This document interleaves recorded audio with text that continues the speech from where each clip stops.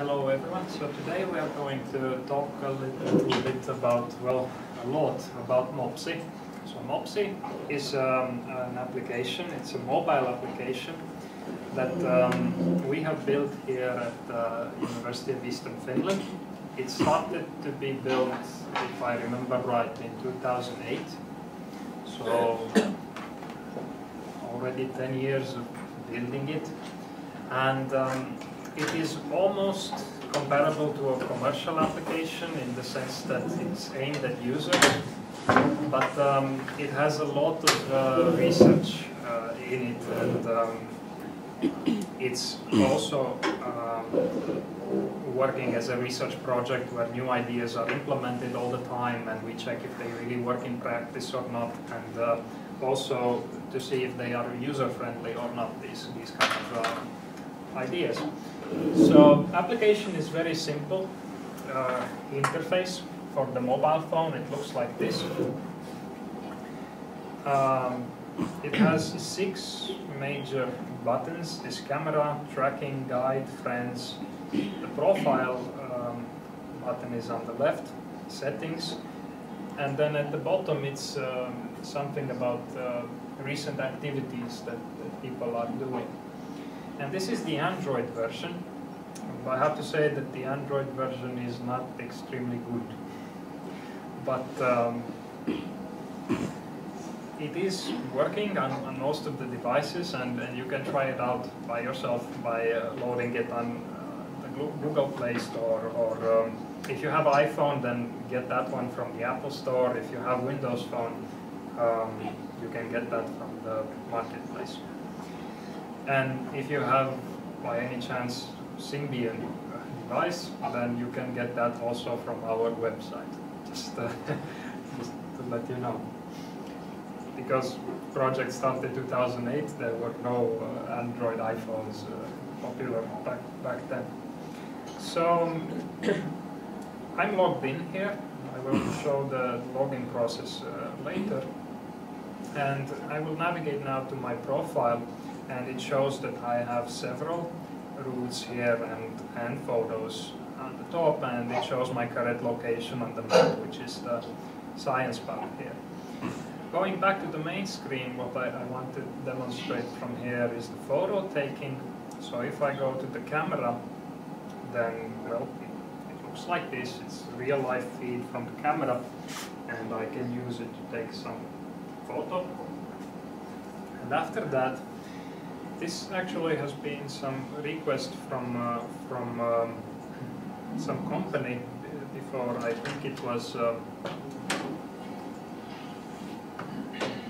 I think it was Keypro company. They wanted to have this kind of tool where um, you have the um, uh, location of the photo, but also the angle uh, shown and if the angle is not correct, then you can you can modify the angle by, by pressing the map to show this uh, this red line is the direction at which you are you are pointing your, your mobile phone. And uh, of course there you have the possibility to to add some description for the phone for the photo, uh, upload it, and take another picture. So I'm going to try uploading it now asks me something about publishing to Facebook, I'm gonna say no, but it um, doesn't really work anyway because uh, people that were working with the Facebook API stopped doing that uh, two years ago. And we, meanwhile, Facebook changed its API twice. So, uh, not just once, but twice, so it's not compatible anymore. And we would need help to get it, uh, to get it done. But anyway, that's all that I want to demonstrate from this uh, from this thing. Maybe I go also to this guide screen and, and see what it is doing. It uh, gives me some recommendation uh, option on the left, or I can search for a keyword, so I can enter what I want to search for. Uh, and I can see also some bus options nearby. Um, I think I'm going to close now this phone and continue to use emulator because in the rest of the demo I want to appear at some other location. So I, I don't want to um, be at Science Park all the time during this presentation. So I, Radu, Yeah. uh, uh, what will happen uh, when you upload the picture? I will show, uh, so upload I think is successful already, it says here, this, uh, it's said here this, oh, sorry. Um, yeah, server detected already that I took a photo, it also detected that me and Himat met, so Himat is there. Hello. so I didn't expect that, and uh, also many some other other things Pasi is doing now, also taking pictures. So I will show later on the web page how the photo ended up these things. So after you take it, it gets uploaded to our to our server. Okay, but meanwhile, I'm going to keep this phone running just so that I appear online, even though uh, I'm not using it in, in any way. So what I wanted to show now is um, I'm closing this uh, screen for my phone, but um, I'm still going to open the app one more time in my emulator so that I can have a different different location there. And we have some automatic login feature here. So there is this um, user Z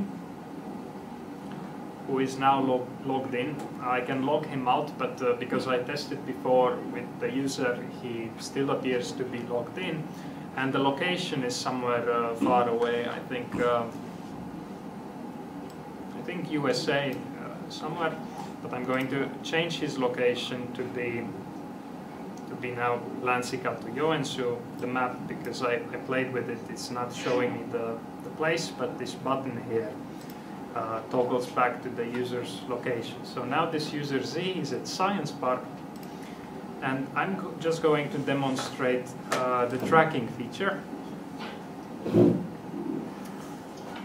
So it's very similar to what we did with the Super Tracker app uh, the, the previous weeks. It's not too different.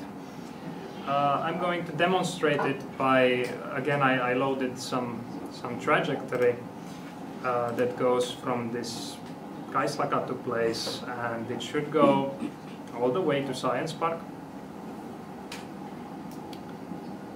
Hmm. let's see if it begins to do that. Oh yeah, okay. So I'm just going to start tracking and see how that goes. And uh, we will leave now also this application on the background. So now we have one application on my desk with uh, user Radu that is logged in. And this user Z here is tracking at the same time. So I want to uh, next move to the web application and see there what is happening and how the users interact and, and so on. So I just wanted to give you some uh, real demo of how this is, is working. All right, so leaving that one now for the moment, but it is doing something in the background.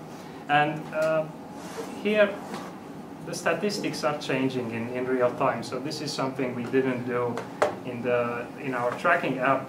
Our distance and time and uh, speed are calculated as we are uh, as we are tracking. So you don't have to wait for the end to get statistics. You get them while you are while you are tracking.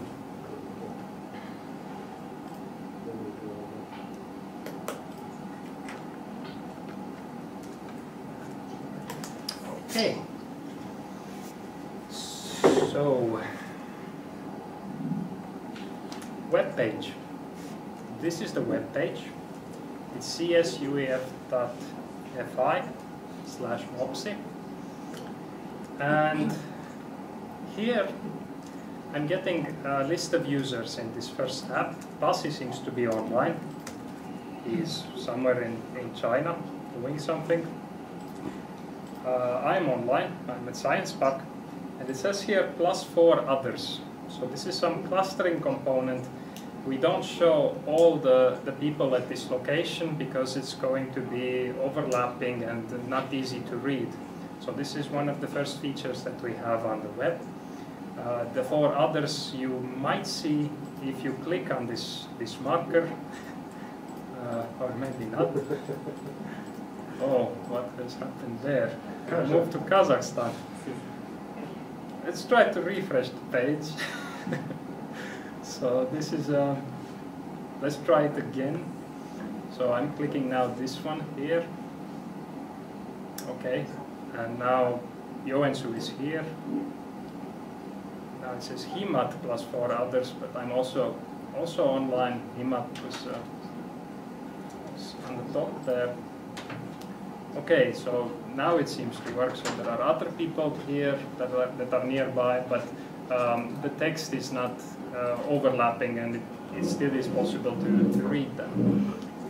Uh, now, on the right here, you see either uh, one or two or three things. You either see the location, the address where the person is, or if they have a collection, then you're going to see what photos or what routes they have recorded. So if they don't have a collection, this is just the basic information that we still know about them because it's a location-based application and we know where they are.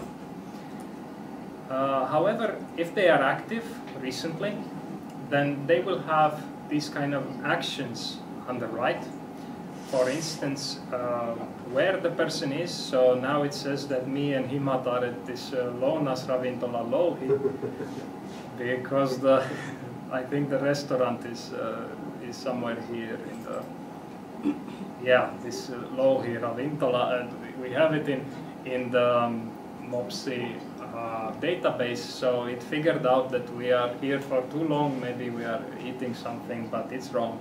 So yeah and also the photos and um, meetings. Meetings are also here happening. So different actions like visiting a place or um, taking, uploading a photo um, and meeting people is something that we detect uh, automatically on the server as we get, get data. Now, you might ask, where is this user Z that is tracking from home to work? I mean from my home to work. He's not here. This is Kaislakatu where he started and he should, should be going, but he's not here.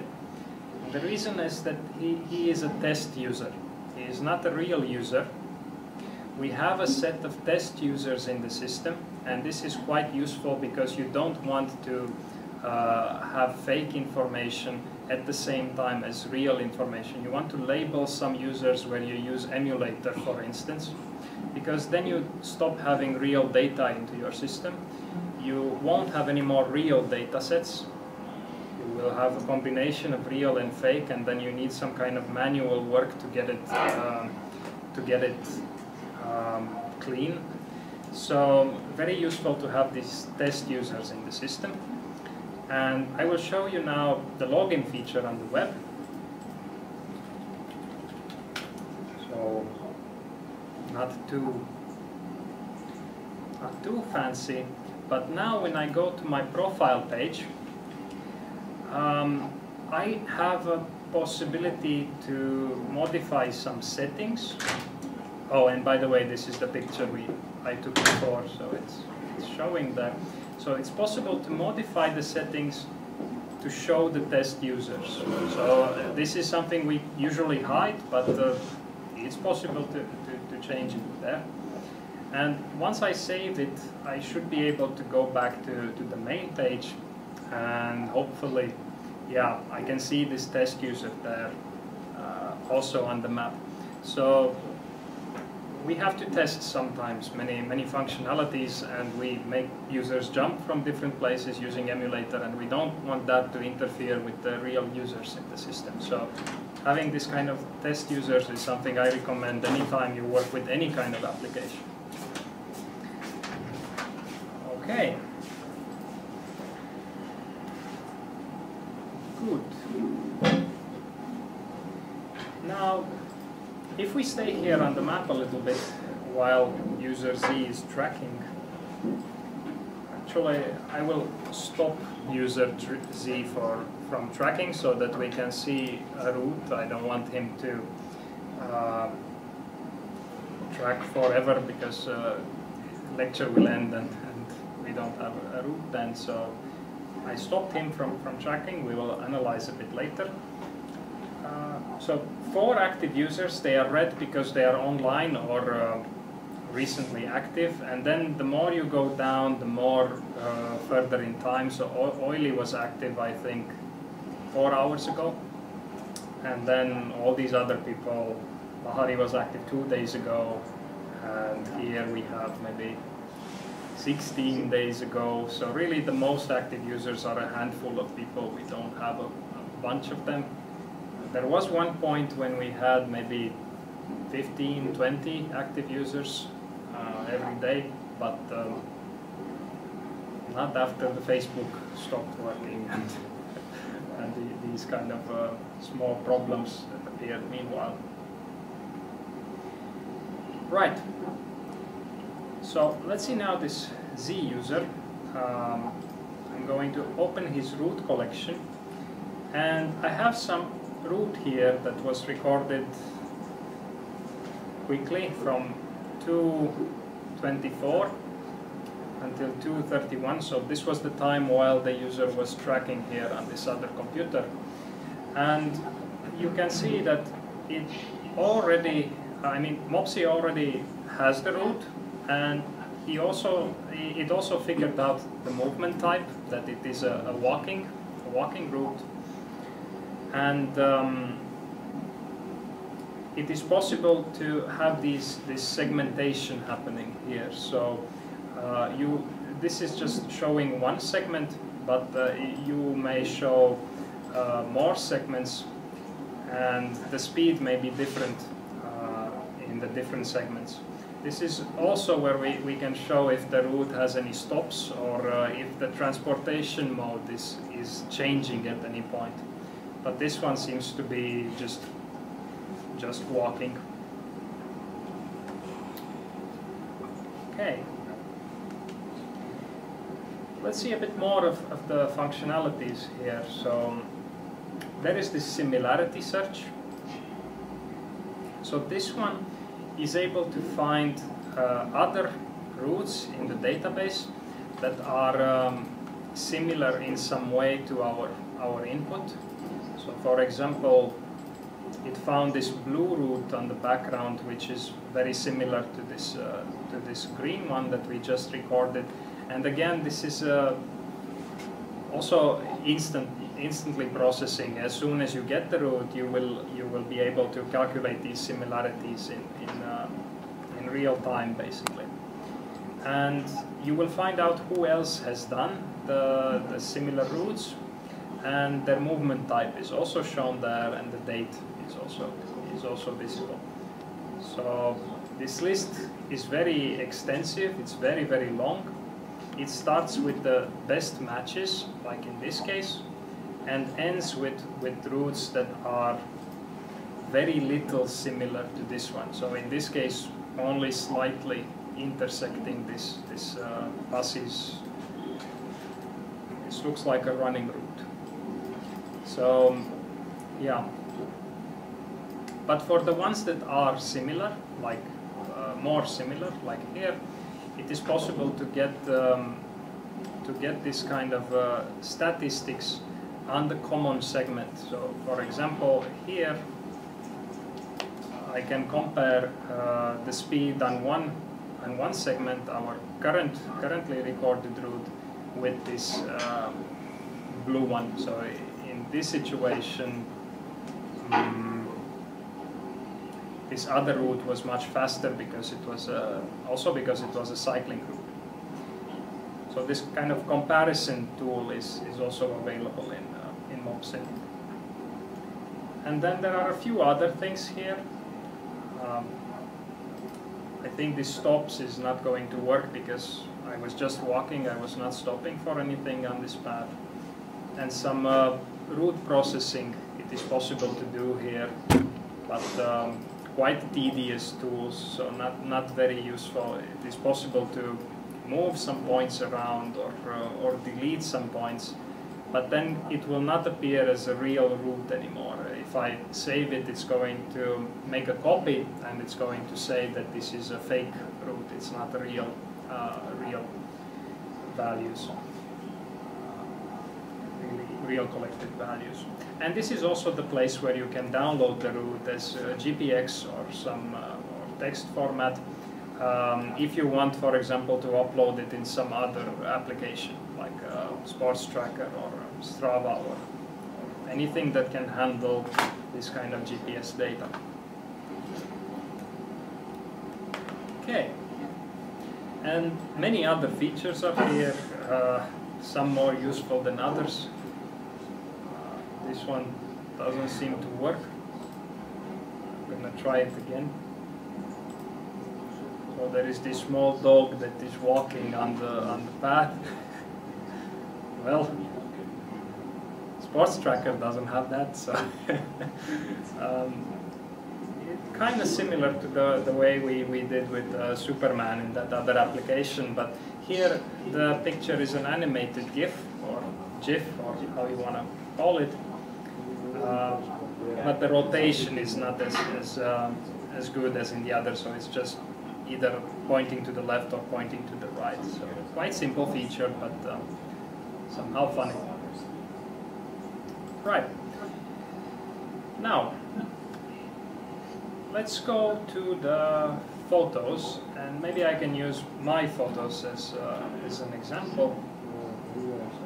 Yeah, one Yeah. comment. Yes. Uh, you, in your picture, you're like uh, Mr. Big uh, from the Sex and City series. What? Uh, don't you have uh, ever seen the uh, Sex and City uh, television show. Uh, I know what it is, but I haven't seen it. No. There is the Mr. Big, and he, he, he look like a, and this was uh, that kind of uh, appreciation. Oh, okay. Thank you very much. Okay. Do I need to change it? No. no, no, no. Uh, what about the, how, how uh, often you record, record the uh, position yeah. when you enter? Yeah, so the mobile app has a setting. Um, usually we set it to four, every four seconds on default, but you can put it to two seconds or eight seconds or uh, anything in the, in the settings page. So default is four seconds, every four seconds. Okay. Um, and yeah, I forgot to mention, but uh, I couldn't because uh, in that in that one trajectory it was so boring that I, I was showing. I should show something more interesting here, maybe. So these are the my last week trajectories. We have we the routes. We have we we have this possibility to select them by by year or uh, month or week or select actual dates. Um, and two viewing modes. You, you can view it on the map and you can also view it in this list on the left with the extension that if you click this thing, which is actually a button, and nobody knows, you can see also the, the routes on this uh, thumbnail view. So a little bit problem with the interface. You don't know that this is actually a, a feature unless you work for Mopsi basically. Um, yeah, and the, the list is sorted in this um, recency, so it's depending on the date. And of course, the list will be bigger if um, if I load more data, and if multiple routes are recorded on the same date, then um, they are grouped under this date date field there. Okay. So I mentioned briefly some, some time ago, uh, it is not easy to display such, such uh, large amount of data. So showing all this data on the map, if you try to download all these routes, okay, and you open the, take the GPX and you put it on the Google map, Google map will crash. So we are doing something here that allows you to, to show all these different, uh, different points. Uh, first of all, relatively quickly, so it doesn't take too long, but also it doesn't crash the map. So if you would display all the points, um, it would be too much. The Google map will, will start to hang. So how are we doing this? It is a, a combination that we, we don't show the points that are outside of the screen. So for example, now the points in Joensuu, they are not there on the map anymore. We only show the ones that are um, that are in the screen or around the screen to allow for this kind of uh, scrolling, scrolling move.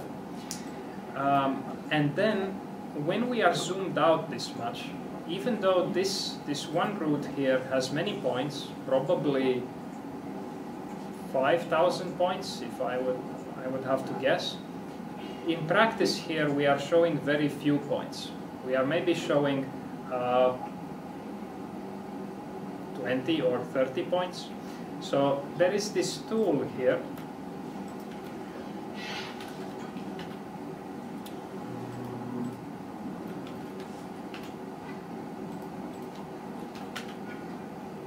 Okay, so there is this tool here that shows this, this uh, a little bit. Um, the route on the background, the black one, it has 556 points, somewhere in Helsinki, and the red route, it has only 13 points. So this, this red line, this is called polygonal approximation. We approximate the route uh, by something that has far less points but preserves the shape. And if I zoom out here, you will see that at some point it doesn't look too different from the original one. So depending on the zoom level that you are using, we are going to use a bit more points to represent it. So now I'm using 25 points. It still looks quite similar to the original one. So it's a combination of these two techniques, not showing the, the parts that are not on the map, and also decreasing the number of points. So only when I, when I zoom in on this segment, it will start to become a bit more, a bit more detailed. It's actually hard to see, but that's the point, to, to, to have it um, seamless, seamless uh, working. Right, and if you want to know how it's done, it's a research project, so we have here on the machine learning uh, page, we have the publications,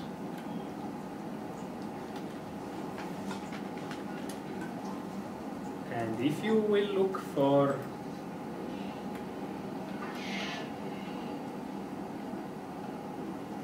a fast Ordo-N multi-resolution polygonal approximation algorithm, algorithm for GPS trajectory simplification, you will get uh, all the details about how this method works.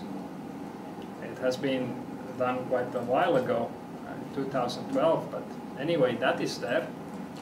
Um, if you are interested to know how the segmentation um, how the segmentation and the movement type detection works, then this is another one. Uh, it has it is detecting the movement type by route segmentation and classification. So you, you can find PDF for, for all of these things on the on the web page. And uh, of course, this is scientific paper, but uh, we try to make it as as um, easy to to understand as possible. So we have different movement types and um, different probabilities for each of them to to happen. It depends on the speed very much, but it also depends on feasibility. So it's quite unlikely that you will drive a bike and then go on a car and then back on a bike and then back on a car. It's more likely that the car is going slow for some reason. So also a combination of, um, what is the speed, but also is it likely that this is really happening in practice. So not, it's not a very simple method, but um, we have some solution for, for that. Okay, now photos. So photos is the recent one there. Same selection with the month. I wasn't very active in, Mopsi in the last month, so still one photo. Uh, but last year I have something, and you will notice the same kind of clustering component on the map. So this is again, many photos here are at the same location. I'm just going to keep one of them uh, as the representative and avoid having many overlapping ones, overlapping ones there. This clustering component is actually part of um, of uh, dissertation. So this is part of um, of the dissertation of uh. So this guy from here, he worked with clustering and part of this, this thesis has, uh, is focusing on exactly on this um, clustering of, uh, of, photo targets on the map. But um, let's see if I can find it somehow.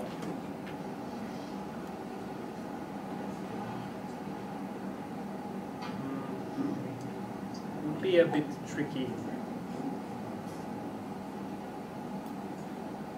because uh, PhD thesis has four papers that are, are included in it. So, um, and has many pages. So, might might take a little time to, to find what I'm looking for, but okay, yeah, it's probably somewhere here. Um, yeah, so he uses some grid on the map, and then. Uh, somehow a distance between the thumbnails, but it also takes the thumbnail size into, into account. I'm not going to look for this anymore, but uh, it's somewhere anyway if you ever need, need something like this. And we consider it much more superior than the one that Google offers. So Google has also a component for clustering things on the map, but uh, there are some situations where the clustering just doesn't doesn't give the needed information the way you expect it. And um, yeah, we try to use this one as, as much as possible. And it's the same component as before. If you click on this eight photos cluster, it's going to zoom in and show those uh, eight components. And again, may need to zoom in more if necessary. Or uh, in this case, they are exactly at the same location. So I'm going to open this kind of uh, this kind of slideshow you there. Functionalities for rating there and Facebook publication which doesn't work anymore. Uh, and I can delete the photo because it belongs to me. So uh, yeah. Okay, now this might look a little bit uh, simple and, and um, you might not see the point of the clustering, but if I select all the photos, then you cannot also load all of them or display all of them at the same time. So the same problem with the photo points, uh, with the route points is going to happen with the photos. The photo information is just going to be too much to, to load, it would take too long time, that's why we keep only a few representatives here instead of downloading all 54. So more of them are loaded when you zoom in to that 54 uh, cluster. And we are able to do even more than that. We, we could, for example, with this system, load all of the photos in Mopsi, which are quite many. So time for the loading is, is increasing quite a lot, even with this, with this clustering, but uh, the map is still able to display all of them because it's not going to have uh, mm, it's going to keep only representatives at, at the different locations. So yeah, this is still a problem with the downloading the size of the data, but uh, it should work. Any questions about what we have so far?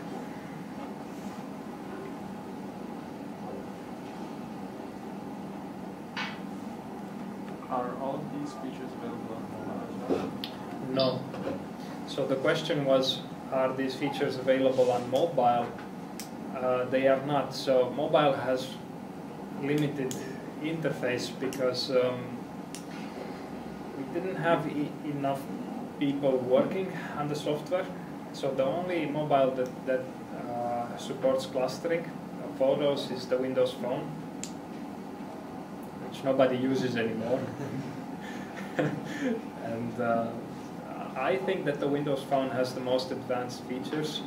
Uh, I made it, but it's not the reason. It's, uh, the, the, reason is that at that point I was only focusing on that while the other developers were, uh, were focusing on, on other features.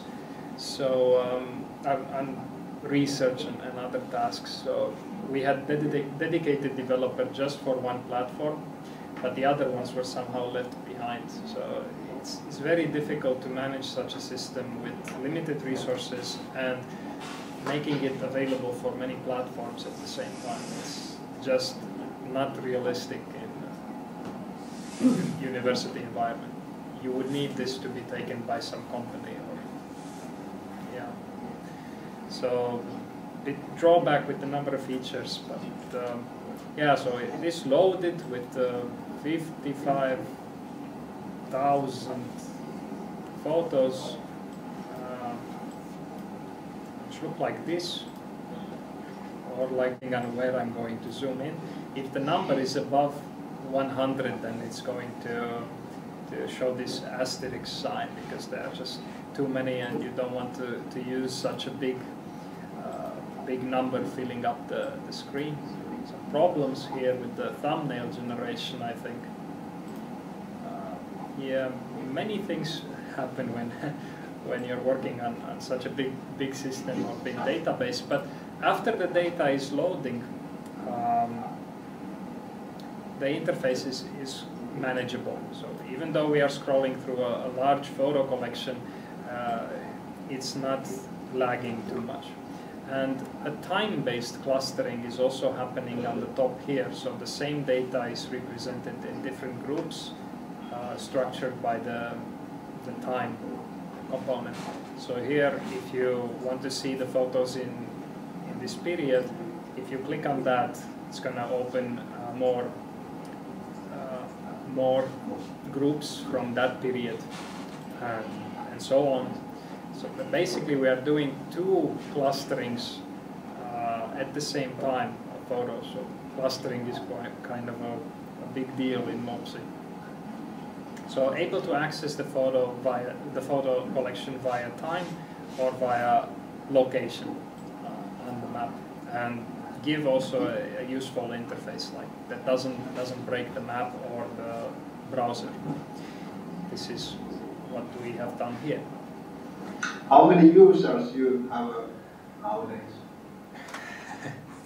well, total users I think we have maybe 5,000, but active users, uh, well, they are here and they contain Z, who is a test user. So, uh, not many users anymore. I think we have maybe five active users that you are, expect them to get new information from them every day. So we are still getting information, but uh, not, not many people are using it. But the data has accumulated over the years, so you can imagine new students coming, uh, new people working on the system, they started to use Mopsi and, and so on. So you do find some users here, maybe Andre is one example, I think his photo collection is 2000 something. Um, route collection also, I think, pretty big, but he stopped working on, on Mopsi maybe a year, a bit over a year ago, so 2016.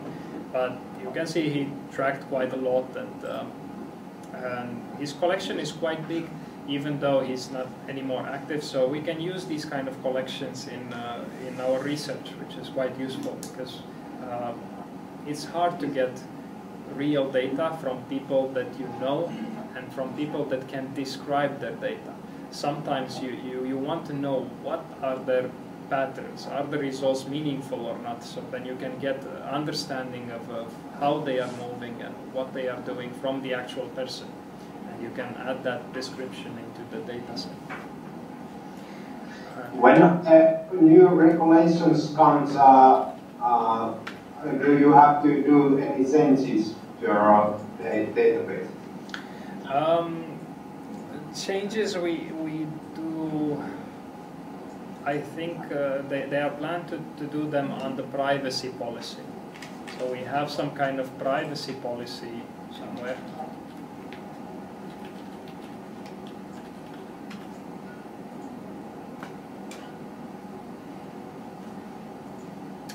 Um, essentially, the privacy says that uh, we store the passwords securely and that the location is uh, you collect it with your own risk. I mean, the application by default is public and people that are seeing, uh, if you are using Mopsi, then people will see where you are. So, um, because the, the uh, password encryption is, is there, I don't think we need to make many changes. Um, it's more a problem that we will lose more people because our private private functions in Mopsi are not very developed. Uh, for example, if I go here to this um, um, to these settings, um, I can choose to become visible only to my Facebook friends or to selected users. And if I do this one, then only whoever I type there is going to see my information. But um, this is not happening by default. So, I mean, by, by default, if we would put here uh, private account, then that would somehow uh, remove the usefulness of the application. But it would also deal uh, easier with these kind of regulations and, and problems. So then we wouldn't have to say that the location is, is public uh, anymore. Uh, but I don't think I don't think we need to do any changes. It's just uh, making it clear that um, what is going to be shared with others. Good. But uh, I have to check again because there might be some small small functionalities that uh, you wouldn't expect uh, there. And they need some clarification. Yeah, so we have, I would say maybe 50 users, 51 users who have reasonable amount of data, but they are not active users anymore. So their past history is, is useful for research, and it also is useful for Mopsi because you see that it is able to handle a large route collection, for example, or a large photo collection. It's not just a um, theoretical result. It's, it's, a, it's in practice, like this is real data and uh, it's, it's not fake, artificial, or, or anything like that. Yeah. Okay.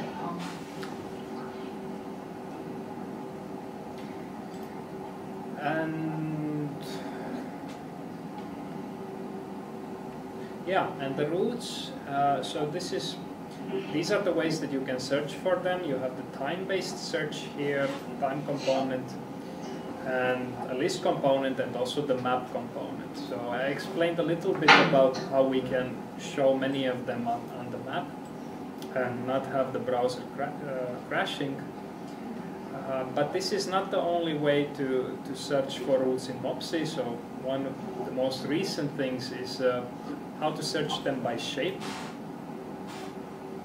And this is this uh, one thing that I have been using in, sometimes is that if you hold down the control key, then you have this option to draw to draw a, a given shape in Mopsi.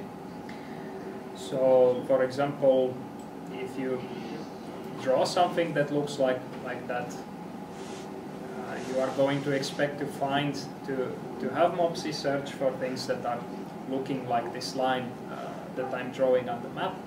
And it is finding quite many of these 40 kilometer uh, tracks and most of them are, are looking the same. Uh, it is one of the more, more unique features compared to other systems because uh, usually they only offer this um, list or calendar based based time time queries. And um, except for Strava who has also now something uh, well maybe a year ago they implemented this segments feature. So you can find out on one specific segment who else has been cycling or running or, um, or doing something uh, there. And then you can compare to see how, how you stand. Like uh, are they faster than you or slower than you so on so that is a bit more similar to this uh, space, spatial uh, query that we have here yeah so I think that we can have a 10 minutes break and then can continue with more more things that Mopsi is doing. Yeah. Uh, do you have more questions about this these things? So um, there are so many things that we could talk about, but uh, I'm, I'm not sure what to focus on. Uh, was there kind of op- option that you just draw to the map and uh, it finds the route? Yes. Oh wow! Wow! Ah. yeah, very cool. Yes. Yeah, it's. I think it's it's quite useful sometimes, but um, it depends about what you are trying to do in the in the system. Uh, since we are here and we, we were talking about this novel novelty of these routes, um, I would show a little bit about these map options here. So this is the Google map. This is the OpenStreetMap.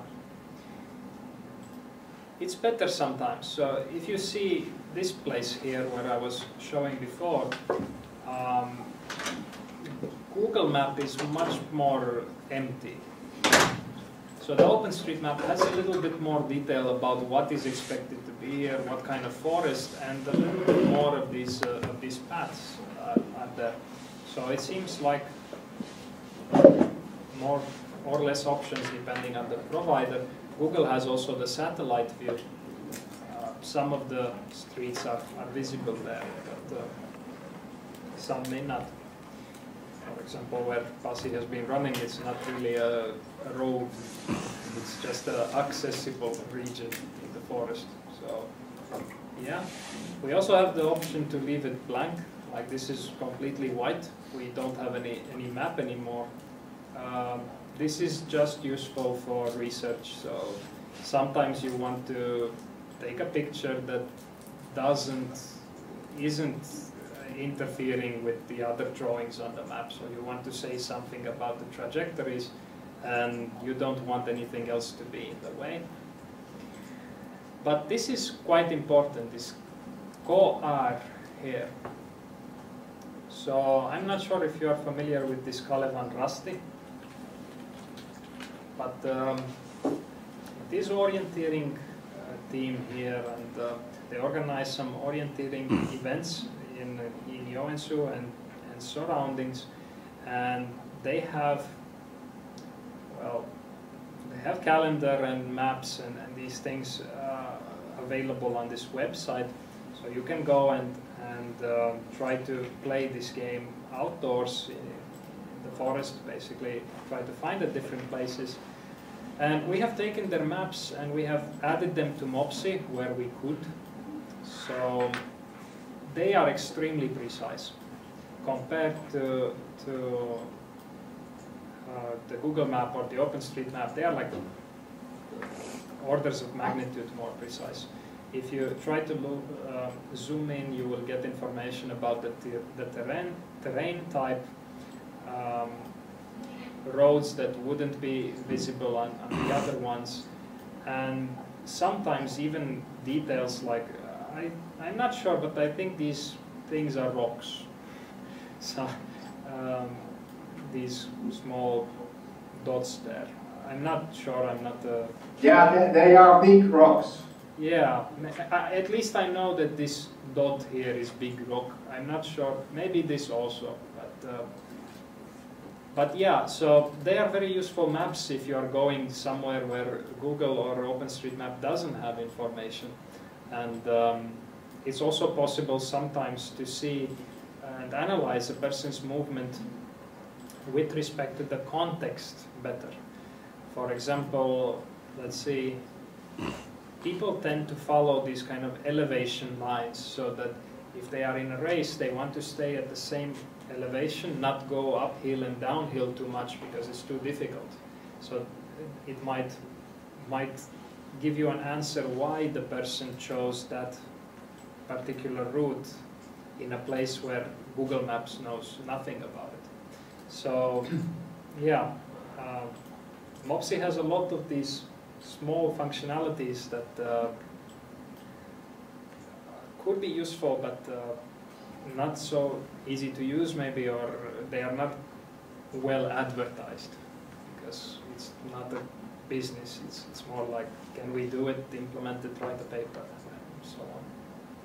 Yeah. Do you know, uh, is there that kind of uh, uh, particular uh, applications for the orienteering uh, from the other? No, um, I, I don't know. Um, I think there is none from this Kalevan Rasti, but um, orienteering is a traditional sport. You go there just with the compass and the paper map. So I, I think the use of GPS is not allowed. so there, there wouldn't be any um, target audience for, for making a specific orienteering app. It's just not, uh, yeah. Yeah, but uh, I, guess if you have a, that kind of registering system with you, uh, if you training the orienteering, Uh-huh. it, it could be uh, nice to get the, that, that information Ah, you mean uh, after, after the training to check where, where do you miss the spots and that kind of stuff. Yes, okay. Actually, it's amazing that uh, if he, the brand is in orienteering and he, he, he had- hadn't marketed it for the orienteering guys. Yeah. I don't know. Yeah. Um, well, it's difficult. So um, the, reasons why people don't do it are usability reasons, and they start with battery life. Okay. Also, at the beginning, is extra weight. Mm. All right. It might sound it might sound silly, but the guys doing orienteering don't have pockets. Uh, they leave their keys in this box at the beginning from, Yeah, from the absolutely. car. So they want to be as light and as dependent on technology as possible. And check this route. I, I'm not sure what Pasi did, but here it seems he just went through the swamp. So, so the phone, I don't know how it survived that. Yeah. Actually, uh, about the orienteering, when we uh, check the competition, uh, how, how they track the uh, competitions in these orienteering matches? I don't know exactly. They have to be some kind of tracker with Yeah, them. yeah. Yeah. It might be something similar to what they use in marathon running, Okay. but uh, I don't think they use GPS, or maybe they use GPS for some uh, more important players, or I don't know. Yeah. But you, I think you have a lot of documentation, so if you go on such web pages, they will tell how they do it. Yeah. Nowadays, you can get the, the road route in the real, real, real, real time. Yeah, The TV. yes, yes, it's possible, uh, I think. I think they do use GPS for some players. Mm. Okay, but let's move on to some other other things. I think enough about rules. I will talk much more about how these systems work uh, when I'm in Kuopio. So uh, after two weeks, I will have a lecture about just about trajectories. So let's move on to some other things. Uh, bus. it was much more important earlier. now it's uh, it's not very useful, and I think I might need to refresh the page. Mopsi seems to have some problem. Uh, let's see. So this here, uh, another big reason why it's not very popular. so it uh, sometimes crashes or gets stuck in, while doing something. So this bus application, uh, yeah. Okay. It has one input. The input is the user's location. And it should tell you what are the next buses that are going in very different directions. So um, if you see your destination somewhere on this list, then click it and you will you will find out which bus you have to take. So it's kind of a simple simple application, uh, and it uses this. Um, I think yeah, Finland made this national uh, service for for bus queries, so we have have now moved to that. But in the past, we used to get uh, information from the city, and it was horrible. So I can just tell you that this was happening three years ago, and we were getting information in PDF format. So, so you take the, the updates, like if the lines are different, you get them in PDF format. There was no other way of, of, um, of giving it. Um, and at that point, we had the, the only electronic system that, that was working, really. But um, it wasn't working that well because sometimes the updates were not coming in time or uh, just very difficult to manage such a system when you're also doing other things. So Mopsi was not just focused on this bus, it tried to do it, but eventually now we are using this, uh, this openly available database. So it's not much for me to tell about it, just that you can use it and you should be able to use it on your mobile phone also. But this destination, setting a specific destination is not supported by the mobile at the moment. There is one student, uh, Golam, if you know him, he is trying to make this uh, feature on the mobile phone now as his IT project. So steadily, still getting more features in Mopsi, but not, not so much.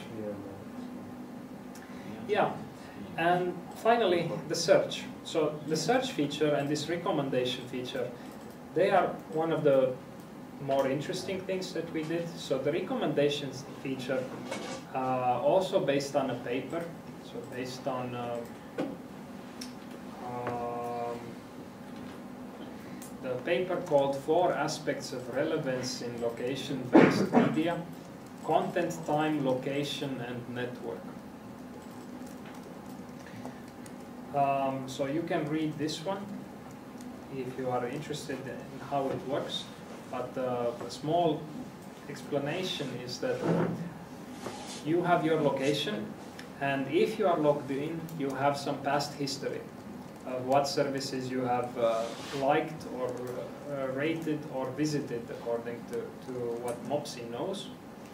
And then it's going to try to predict in the area something similar that you like it's going to rank uh, the different things in your area depending on how far they are, how likely it is for you to like it based on your history, the rating that, uh, that the, the services have in the database. So there are the, the different things. This is what we mean by, uh, by uh, network, I think, because it's made by the other users in the, in the system.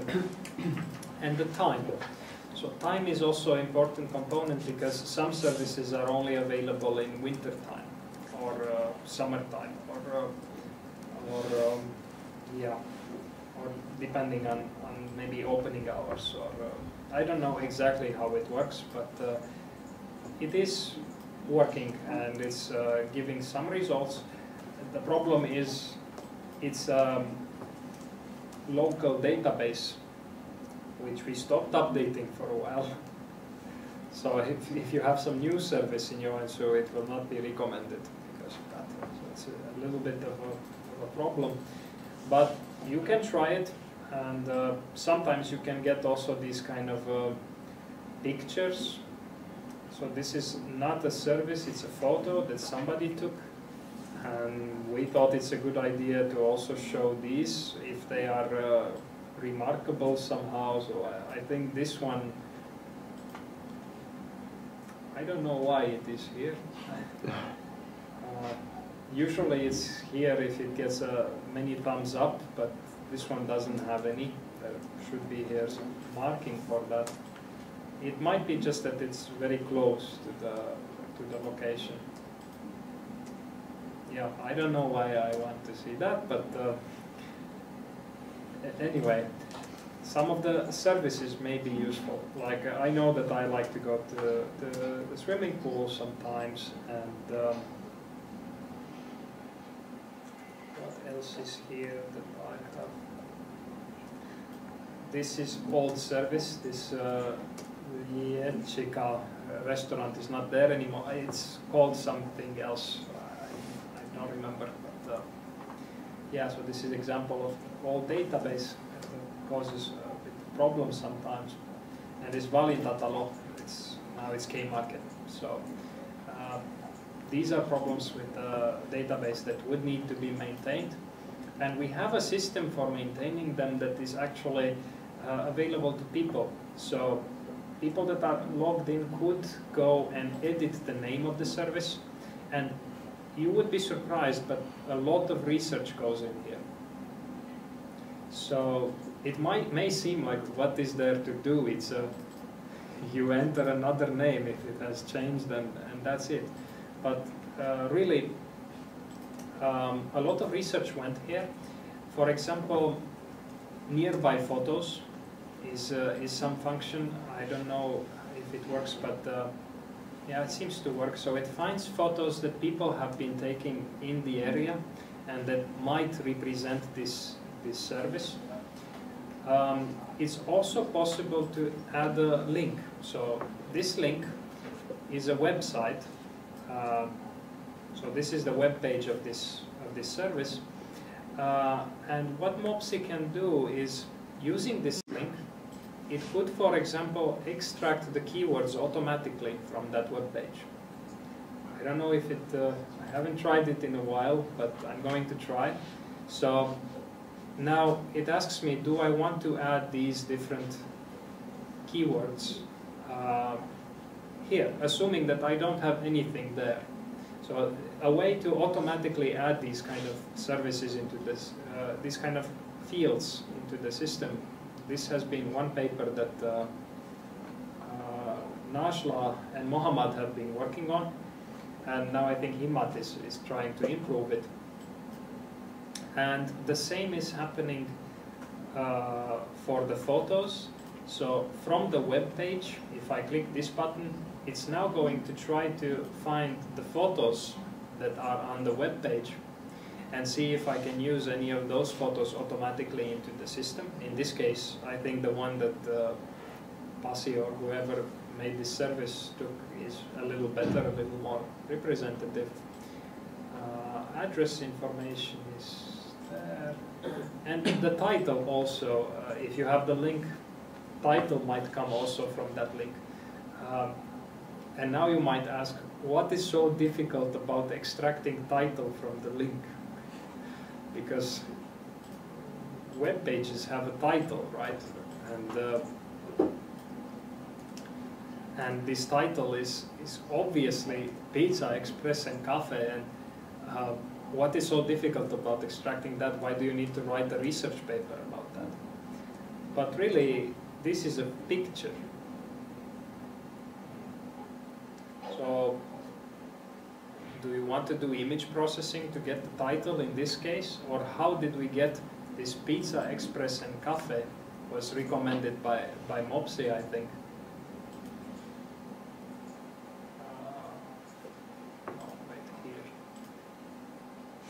So it found its Pizza, Pizza Express and Cafe, but uh, question is how did it find it? Because this text doesn't look much more emphasized than any other one. Actually, this looks much more like a title. It's bigger.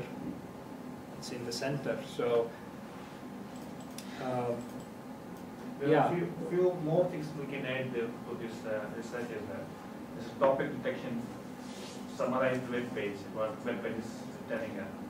yeah, so Himat was talking about web page summarization.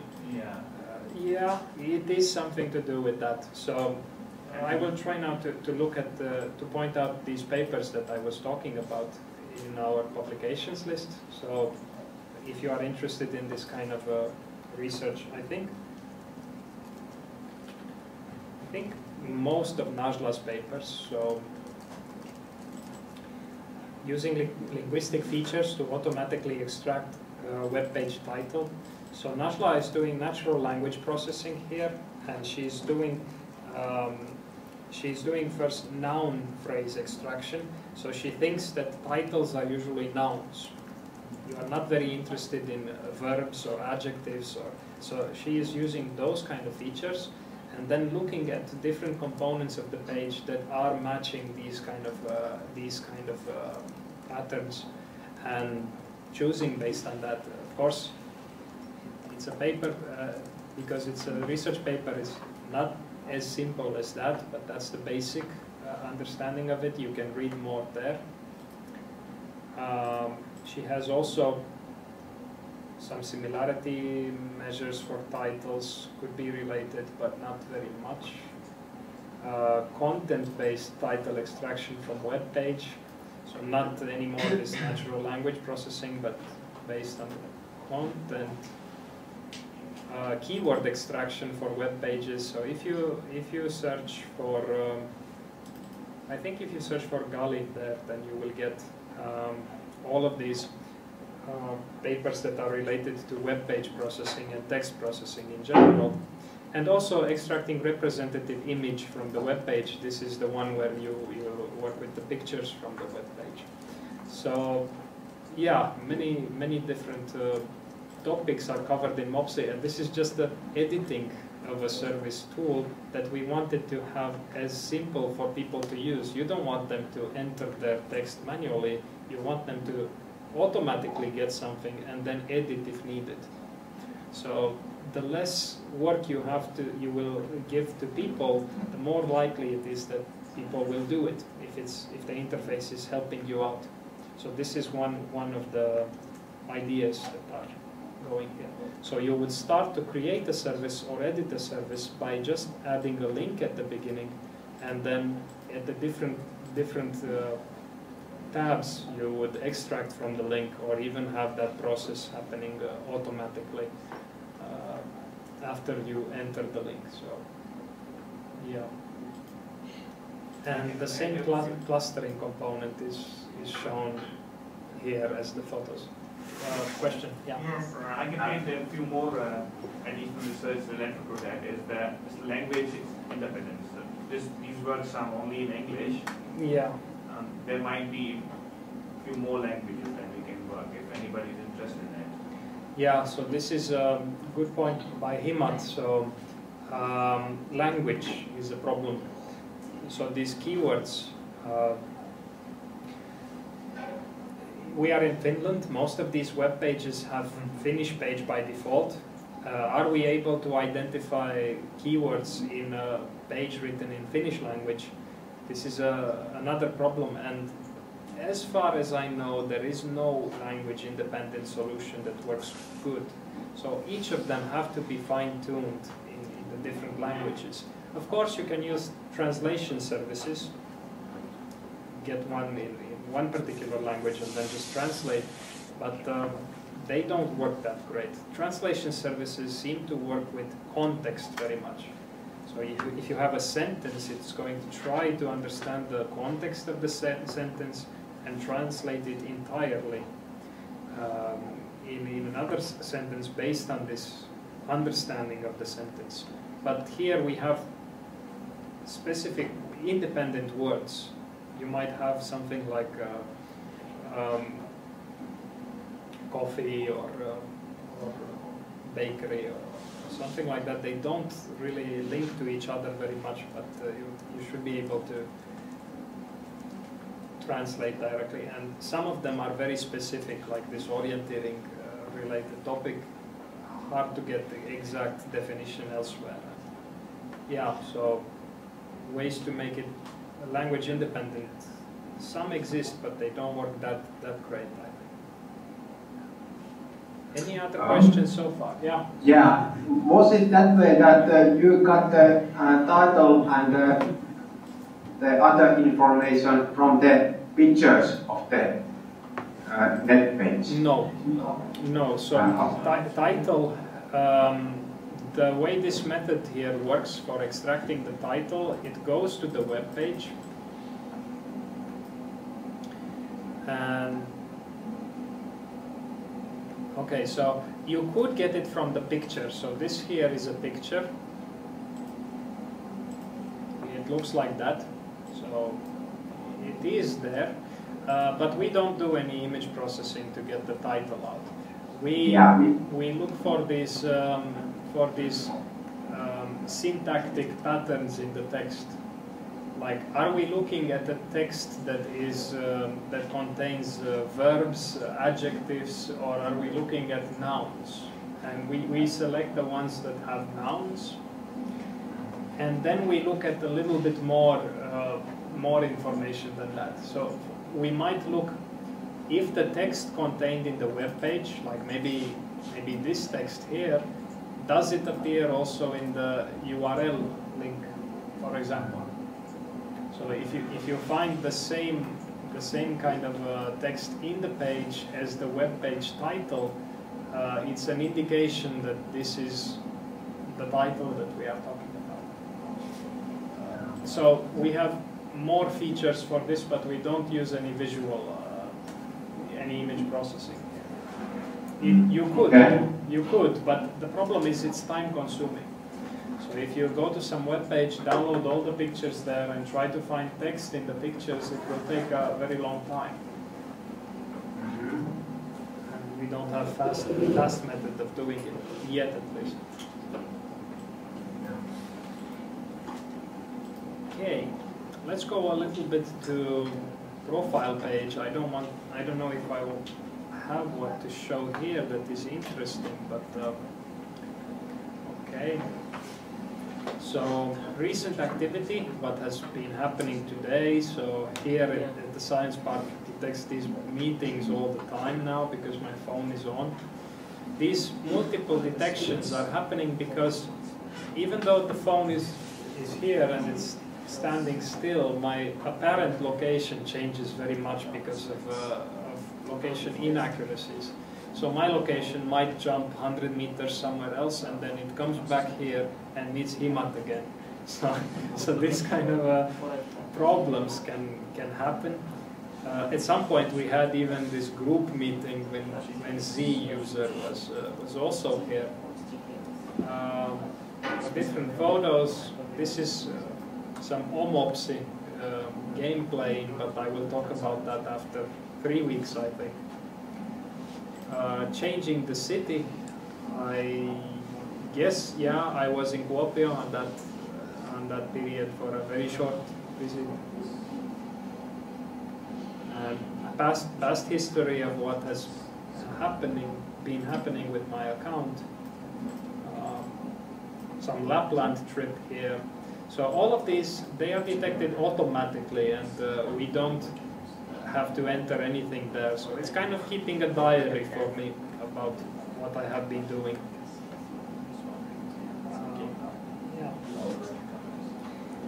And here um, also possible to check uh, activity like summary of activity. In my last month I haven't been driving at all, but cycling which is false. So it says here that I have been cycling for 20 minutes. It's really uh, not the case. It's probably thinking that I'm cycling on some faster skiing or, uh, or whatever. Um, Yeah, so all these, uh, all my activity in the last week, in the last month was uh, mostly skiing, and uh, walking and running may look like skiing. Sometimes cycling may look like skiing. So these are. Uh, uh, it's hard to say because we don't have the skiing movement type into the system. So it's going to be classified as either one or the other. And if I look at the annual. Um, the last year I drove 12.5 kilometers, but I think this is also something else. It might be very fast cycling because uh, I rarely drive and, and do trekking. So here cycling some some distance, running and, and walking some, some statistics there. Yeah, okay. Meetings that have happened in the past, so not too many. And visiting different places just here in Science Park and um, surroundings. But in theory, the, the page can show more, so yeah. And here we automatically detect my uh, workplace, my home, and uh, my favorite place. I don't live here anymore. I rarely go here, and I still work here. so um, a bit old information, but um, yeah. Are you curious to know how how this works, or have I ever mentioned about how they? No. Did I? Okay. Do you want to know how they work? Yes. Okay. So they are places where you start tracking and stop tracking. So very likely people stop and start at their home or the workplace or wherever they go, like a favorite place or a supermarket or, or something like that. Uh, so you can find the top places where people end their, their tracking or begin their tracking. You cluster those and choose a location but now the question is, how do I know that this is my work and this is not my work? This. So the question here comes, who else is doing the same thing? So at my home, it's very likely that I am the guy that is going there and not many others people are going there because I live there. But in a place like a restaurant or um, or a workplace or a popular popular destination, uh, many people end at that same location. So because many other people are uh, ending here at Science Park, it says this must be a place where you and other people are going very often, and you are going very very often there. So it must be work. so, so this kind of um, looking at frequencies and also other people's uh, frequencies. For instance, if I type here Pasi's ID, I didn't do it successfully. So Pasi, Pasi has been much more active than me. this is just the last day, so looks much more than my last year, maybe here. Um, and he's in China now, so I have to go all the way here. But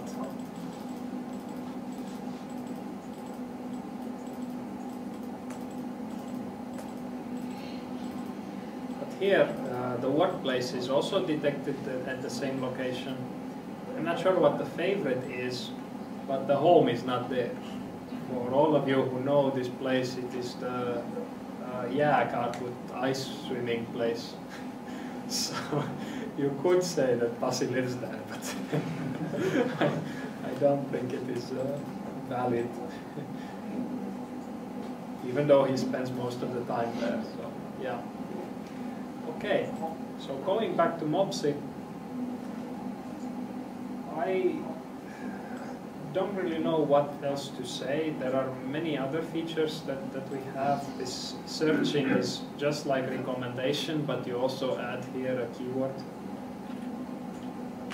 So it's going. Uh, did I picture, get the picture that uh, there is a lot of uh, data analyzing uh, tools what you're using with Yes. uh, measurements. Yeah. Okay. Yeah. Uh, uh, one, one idea um, came up, up my mind was that uh, uh, we have uh, talking about semantic net, nets and uh, internet. Uh, why don't you use that kind of stuff if you try to get the titles? That there is the rules to put the title and uh, that kind of stuff to the net sites. Or was it was uh, was that was that kind of uh, um, imagine that that kind of stuff is coming? I I- I- I- I didn't understand. Let me try to see. So, do you mean that the websites should contain uh, meta information about what they are? Yeah.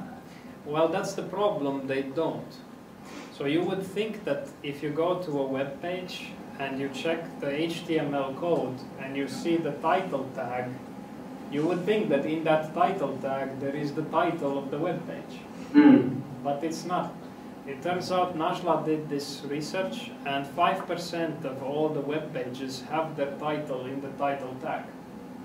Be- because it's something that doesn't really appear very obvious in the page. If you put it in or not, page will look more or less the same. Um, and automatic tools that build web pages may not put it there uh, automatically. So people that are developing um, often don't have it there for one reason or, or another. Uh, so we don't rely on, on uh, information being already parsed in the proper way. There are many web pages that are very proper, very well written, but most of them are not. So it becomes a very tough question how to do it uh, automatically. Yeah. Okay. It's a bit more pressure nowadays because if you share a restaurant or, or a place in Facebook or uh, Google Plus or, or whatever, um, if you don't have the proper tags, the sharing might look bad. Like maybe it's not going to put a good picture there, maybe the text is going to be something that you don't want to be there. So then the developer thinks, hey, how do I change this so that it looks good on Facebook? So the question doesn't become how to write a good web page, but how to make Facebook understand what my website is. It's still important for people, uh, but um, it's kind of a silly, silly way of uh, how, how the society works nowadays. Mhm. So yeah, that's the motivation that many of them don't have the proper information. And the title is very often this kind of image, which is very difficult to parse. Yeah. So it's embedded in this uh, in this uh, logo of the firm. You can ask any any questions that comes to your mind about anything. Yeah, Mopsi has a lot of these very small things, particular research research topics embedded everywhere. Uh, many of them I don't even remember, and if I have to be honest, that's the reason why it's not very successful. So it's trying to do everything, but it's not doing anything better or far better than the others. So it's like this kind of super app that has uh, buses there, photos there, pictures there, services, uh, complicated web page analysis tools, uh, but it's not doing any of those things in a superior level. Um, part of them may be a little bit better, but because of this other additional functionality that many people don't need, they go to something specifically for them. Yeah. Yeah. Yeah, and one one reason can be that, that if there is the in the uh, application interface that there is the KR and there is nothing to explain what is KR. It's a stupid stupid interface and uh, Yeah, this this is the, this is the second. You are talking about the second very big reason. Uh, we don't own a company uh, that is interested to get money out of the users. So this has been made with research in mind, a little bit with usability because we are thinking about going to to this uh, business world at some point. Uh, but the features need much more polishing. They are not user friendly, and many of them are hidden. Uh, many of them are hidden very well. like this uh, drawing to search routes, it's saying here, but now the text is gone, and I have no idea that that feature even exists uh, unless I teach you about that. Wow. So, I mean, it's a very bad interface, and uh, it's probably one of the most um, um, useful tools that, that we would have that other people don't have yet. And the same with KR. It's such a small button there that um, I'm sure that many people that do orienteering would like, like you said, to carry their phone around and then analyze their route on the map much more detailed than using uh, Google Maps or satellite view or, or something. Uh, but they don't know that we offer such a feature because Yeah. you would need to advertise it. You would need to put commercials out and tell people about it. And it's something that uh, takes a lot of effort. And it's not about knowing how to make a system, how to implement the, the application. It's about having the ability to spread the word and uh, make something popular. I'm not sure if I explained well, but a lot of work should go to the interface and looking at the target audience because this Mopsi app is for everybody and at the same time is for nobody. If you if you want to hear what I think, so it's not clear who it is aimed for. And you can't have a catchy um, commercial about the product where you show all the features, all the 100 features that we have, because you will lose the people. Not everybody will be interested in them. Uh, The components should be clearly identified and perhaps even the app should be split into multiple, like one as a sport tracker, B as a similar to TripAdvisor or, or this kind of uh, um, finding out what is around.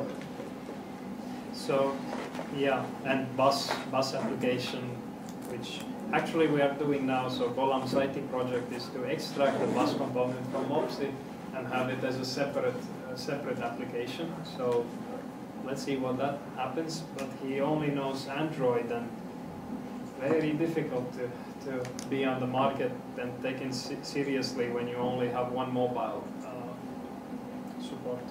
iPhone is really needed if, if you want to take it seriously also. So very different in, in uh, commercial uh, environment than the university environment. I would say it's very rare that the university service becomes popular just like that. It's, uh, most of the research doesn't go on how to make an effective system, but it goes on finding out what the users want. So most of the costs go analyzing your target audience and finding out who wants this service and what do they really want in, in practice if want to have a, a company.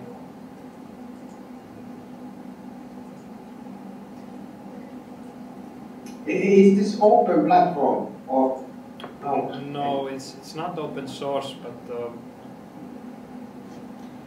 um, but we have many um, the tools. Like for example, I was showing before this reduction.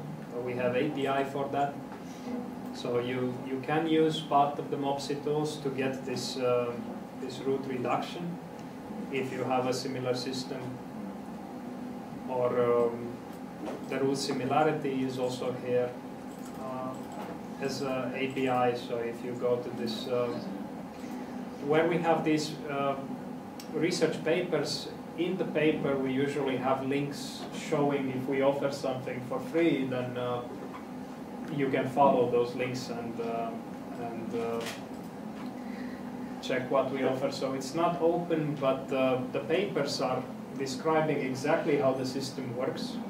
So you should be able to implement a very similar system if you read all the all the papers. Uh, but the code itself is not not open source. Uh, and we have tools like this that, that give yeah In the routing area, like, uh, is it possible to see any cameras? cameras. Like, if we track a car, so there are uh, cameras. Ah, um, no. So do you mean that um, we actually don't offer a routing API? We don't have a routing API. So if you want to get directions from Joensuu to Kuopio, for example, in Mopsi you can't do that. So uh, I assume that's what you meant. That uh, can you get these uh, speed traps, these uh, things when you do that? No, we, we have some system in Mopsi that does that, but it's a very basic. Uh, it just uses Google uh, navigation to tools. So I didn't even bother to show that. But basically, if you search for some uh, some. Uh, okay.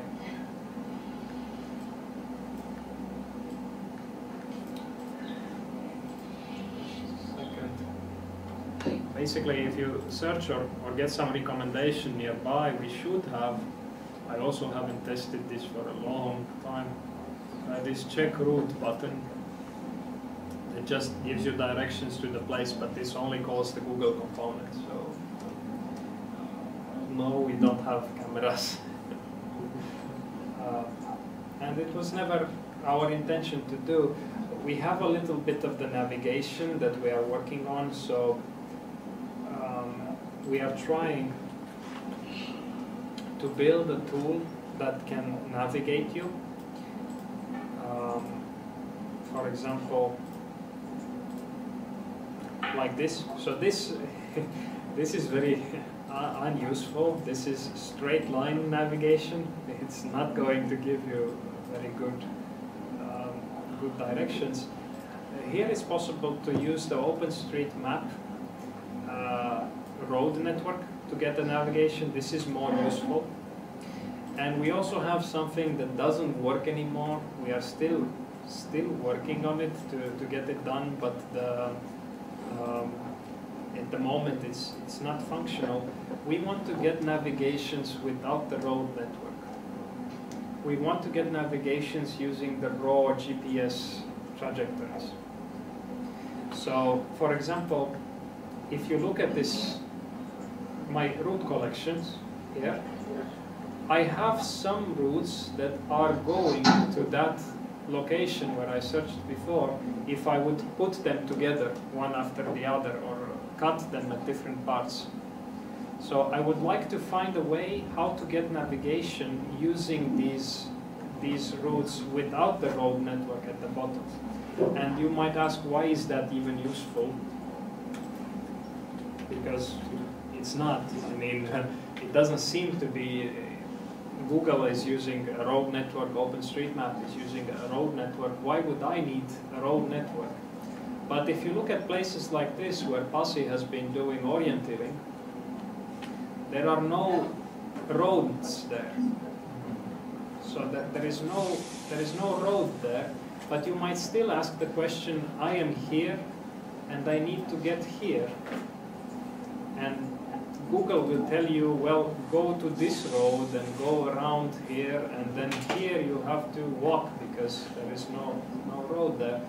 But we could say something like, follow this, this path until you reach this point here, and then continue to follow this path here till the end. So without having a road network implemented, but just looking at different trajectories, we want to do some kind of navigation navigation instructions. Yeah, but then you need to put the rubbers, rubbers, what the, Yeah, what yeah. boots, rub, rubber boots. Yes, well, this is not meant for, meant for the common user, but uh, in Finland you know that forestry is very important. And Yeah, some, some, sometimes people have to go and measure how tall trees are and how wide trees are, and they might want to go very quickly to some place, and uh, they could benefit from Pasi's uh, jogging history, assuming he knows what he's doing.